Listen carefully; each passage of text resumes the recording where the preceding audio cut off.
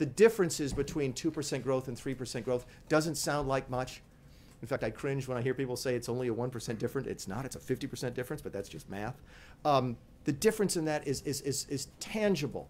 At 3% economic growth in a healthy American economy, if you don't like your job, you can quit because you know you can go get another job. If you, if you get laid off, you know you can go off and start your own business. These are the opportunities that people have forgotten about. And these are the, the things, the optimism in the country, the dynamism in the country that the president is so eager to push back and to, and, and to bring back to the country.